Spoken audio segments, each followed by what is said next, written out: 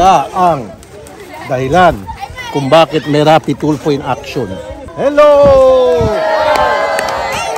Hello, hello, hello, hello! Kumusta? Ayun! Picture tayo. Kumusta?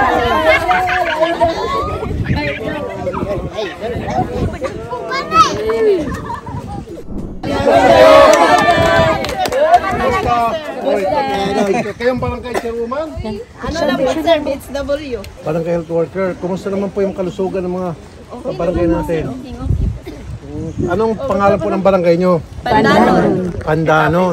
Pandanon, Hitapi, Bukol, Island. Ito siya oh. Oano Beach, Tandanon, Getafe, Bohol. Ayun. Oh, si Odette. Nakita niyo na si Odette? Oh, nakita sa?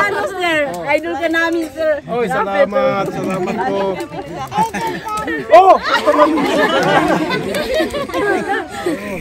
ano yung pwede ko maitulong, may palating sa gobyerno natin, yung mga problema hinaing nyo rito, meron ba? Pagkamot, sir. Mga gamot. Okay, anong klase mga gamot? Siya po kasi yung barangay health worker. Kaya tinanong kanina kung ano yung mga pangangailangan nila, mga hinaing nila na nais nila maiparating sa gobyerno. Ako po ay miyembro kasama sa gobyerno, kaya here I am. So mga gamot, anong klase po mga gamot?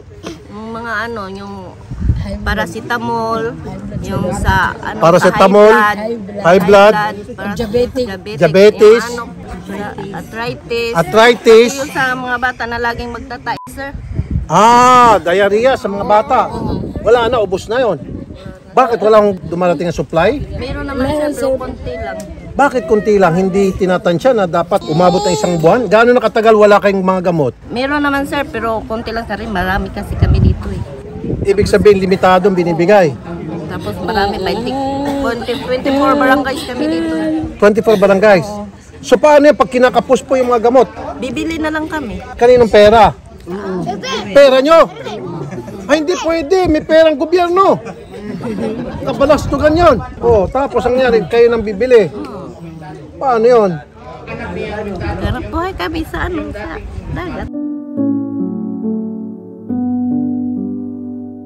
Alam mo, mahal na mahal niya yung kanyang trabaho kasi para maiyak yung isang taong gobyerno, she's considered taong gobyerno because she's working as a barangay health worker. She loves her job. Mahal na mahal niya kasi naiyak po siya dun sa kakapusan nila sa supply. Now, pag nakakapos na po sila sa gamot, ang next na ginagawa nila ay dumiskarte, which is maghanap buhay. At yun po, yung kikitain na sa paghanap buhay, binibili ng gamot. Anong hanap buhay po halimbawa? Yung ano, isda. So ngayon po, may kakulangan ng gamot. Gusto yung bumili ng gamot. Jocelyn! Selena. Akin ang ano ko. Kong,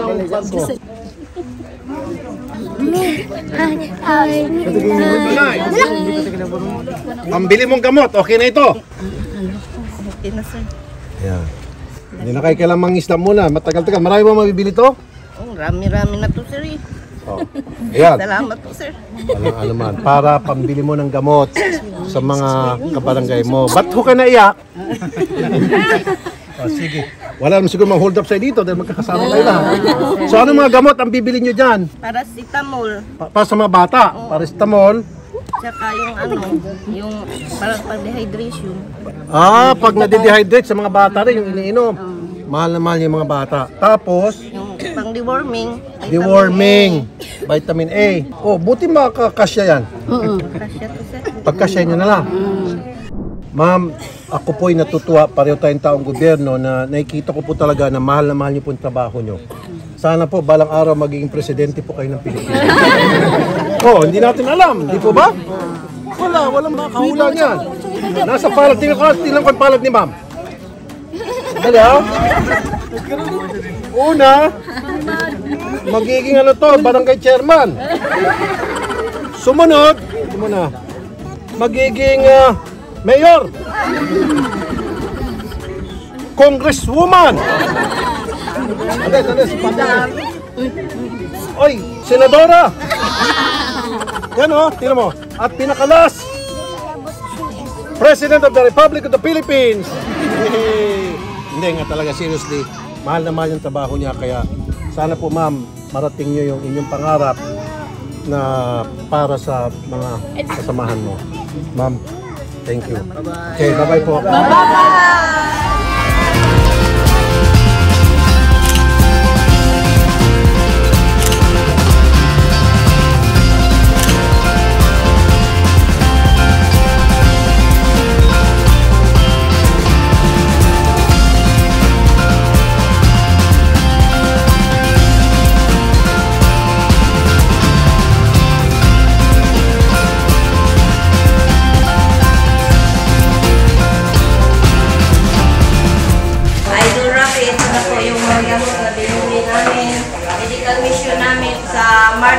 binili namin.